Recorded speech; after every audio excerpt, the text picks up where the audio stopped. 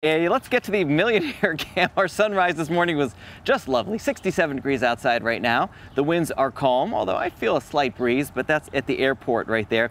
Uh, and the dew point 66. Today is going to be a bit drier, of course, than yesterday, and temperatures about average. Look at that, 60s to around 70 along the Chesapeake Bay. The dew point temperature low to mid 60s, so it's going to be a little humid, but I think a lot less humid than yesterday. Now, today's highs will make it into the upper 80s, which is about normal for this time of year.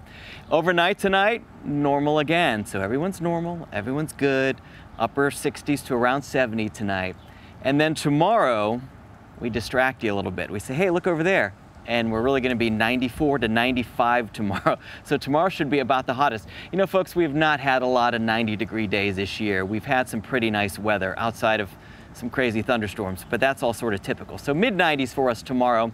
And our next chance for rain will come during the weekend. I think with the heat and the humidity, we'll start to see a few thunderstorms popping around.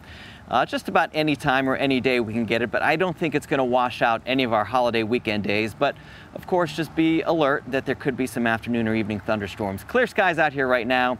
Any rain now has moved well off the coast from the Outer Banks. High pressure's with us today and tomorrow. It's going to keep us nice and stable for a few days, but it's really going to heat us up tomorrow.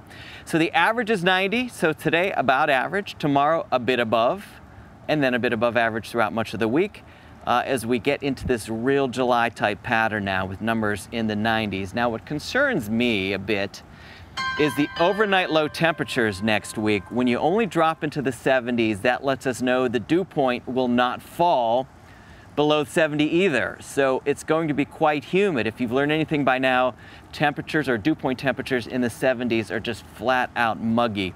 So that means any storms we can get, you can get some downpours next week. So we'll keep an eye on that. But enjoy these next couple of days. They will be dry. Reba, back to you.